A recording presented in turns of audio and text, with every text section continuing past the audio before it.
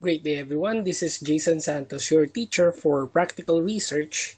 And uh, for today, we will continue um, answering uh, parts of uh, Module 5, which is all about data collection, presentation, and analysis. And again, uh, I would like to remind everyone that um, my recommendations for uh, this module is for you to be guided by um, a math major or a statistician kasi um, majority of the things that you will be um, observing, encountering here are uh, actually for um, are much better if it will be answered by statisticians or a BS math major.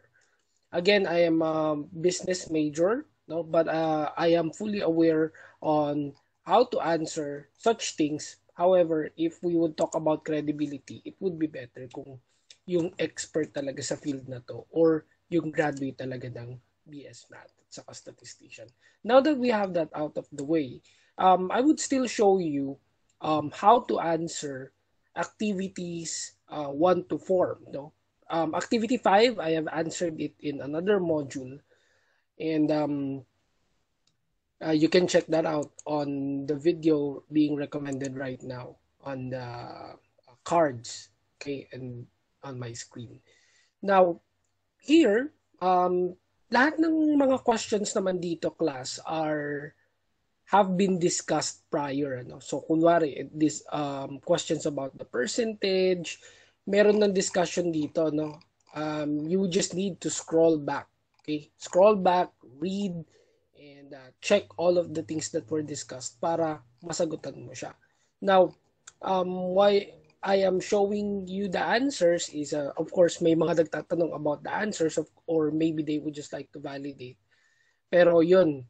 So, let me show you the answers. Ano? Yung percentage, uh, Percentage, of course, this is very um, easy. No? Paano mo ba kukunin yan? Ano? So you're just going to divide it. Yung total number, uh, number out of the total number. Okay? So, meron din namang previous discussions dito eh. So, makikita ninyo dito um, how would you get the percentage. Yan. So, it's here, no? 24, uh, 24 divided by 30 times 100% is 80%. So, yung the same principle na yon we just applied it here. No? And I'm sure very basic na yan sa inyo. So, here, meron tayong table showing sections 7A to uh, 7D. And then, meron daw total number of parents na enrolled on those classes. And then, ilan daw from those parents, and of course, yung parents na yun represents each student, no? opted to receive um, printed copies of learning modules. So, anong ibig sabihin nito? Itong mga students na to ay modular. Okay? And all you have to do is just get the percentage per, per row. Okay? So, 30 and 6, no? Say, uh, 30 divided by 6 times 100% is uh, 20%. No? So, apply it all the way down, no? So, 20%. Sa section 7B, wala na walang kumuha ng module sa Section 7C, merong 50%. And then sa Section 7D, merong 63.33%. Now, total number of parents are 117 and 41 lang. Now, 41 parents opted to get modules. So the rest may be synchronous and asynchronous. Okay? So, with that, ang sabi dito is that uh, let's fill the box, and then write a brief interpretation. Now, yung interpretation, of course, um, it depends upon you, no? Or depends on you kung paano mo siya interpret. But there's a guide on how you would interpret it, okay? Pwedeng magkaroon tayo ng mga variation sa answer dito, but I'm just giving you a guide kung paano ba i-interpret yung nakikita mo. So what you're seeing, pwede mo siyang i-narrate all throughout, no? Pwede mong i-narrate lahat ng results 7A, 7B, 7C, 7D. But what I did is that I uh, interpreted it showing only the highlights, no? So among the four sections, sabi ko dito, no? 7D had the highest percentage of modular students, no? Which is, yan, nakita nyo naman, no? When we took the percentage, 63.33%. while Section 7C, uh, 7B had the lowest with zero or no students opting for printed modules. So sila yung wala. No? Sila yung lowest. So, highlights lang kinuha ko. Uh, maganda gawin yung mga highlights na yan kung masyadong madami yung data mo. Like, let's say, imagine niyo na lang ang section ay hanggang uh, lima, sampo, or kung ilan man. No? Ngayon naman, pwede mo namang interpret yan. Ano? Again, it depends on you kasi um, write your own no, brief interpretation. So, maikli. Kaya dalawa lang pinili ko kasi maikling interpretation lang daw. Okay, so that's our answer for activity 1. What about activity 2? No?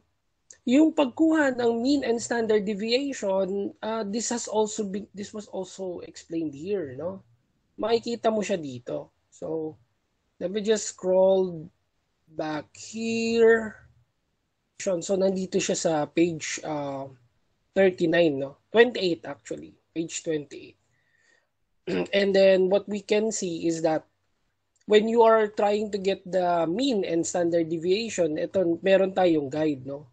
So, what you are going to do is you have to do this manually no? Hindi uubra dito yung kukuha ka ng um, calculators online ano? And uh, ilalagay mo yung mean and uh, standard deviation uh, mean tapos ipa-plug mo siya tapos makukuha mo yung mean and SD ibang mean and standard deviation yun ano? Ito kasi uh, ang critical na number dito is kung ano yung sinabi sa given na total number which is hindi mo mai-input sa mga online calculators no?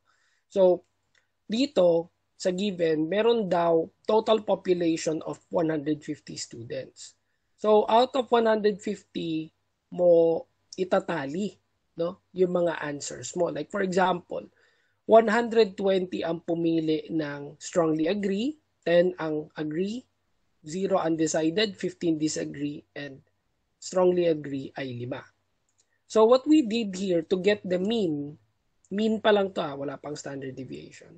I-multiply mo siya, no, yung um, total number, you will multiply it doon sa um, label, okay, of the Likert scale.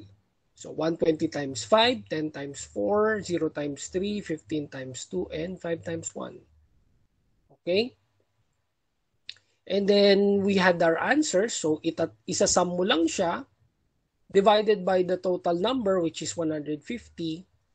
Makukuha mo na yung mean of 4.5. So initially, our interpretation here is strongly agree. However, it will change kapag pinakuha na sa atin yung standard deviation. Ano?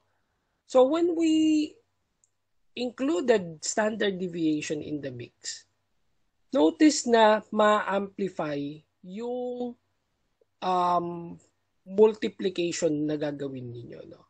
Same principle ano? So you are uh, going to get all of the products and then you will um, get the mean no? 3000 plus 160 plus 0 plus 60 plus 5 uh, over 150 you have 21.50 So para makuha mo daw yung standard deviation, ano, ang ano dito, formula, standard deviation is summation of mean minus mean squared over the total number.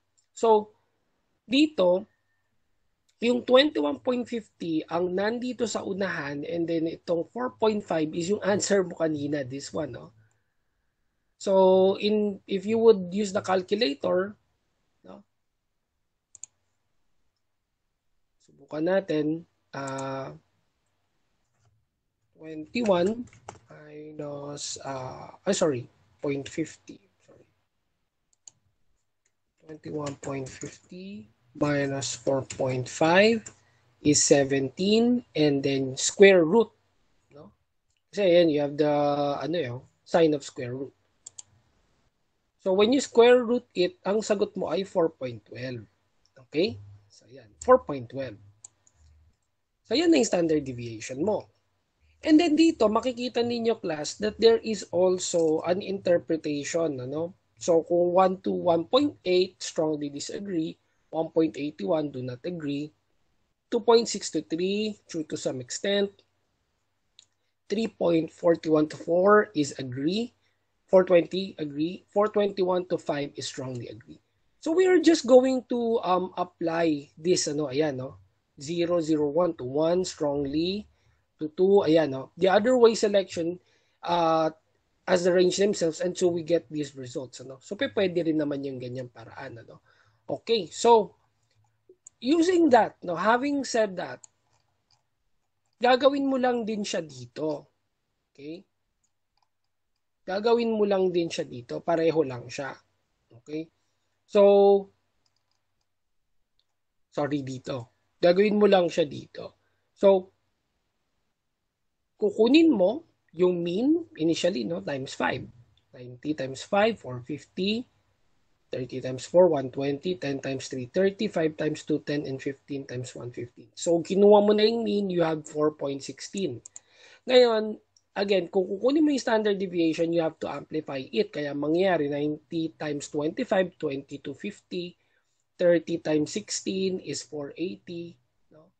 10 times 9 is... So, using all of that, okay, So, applying, uh, ang gagawin mo dito, i-amplify mo lang din siya, no? 25, 8, uh, 9, 4, and then 1. And then, using that formula, no? Uh, sorry kung uh, nag-overlap na yung mga sulat ko dito. You will have 20.36.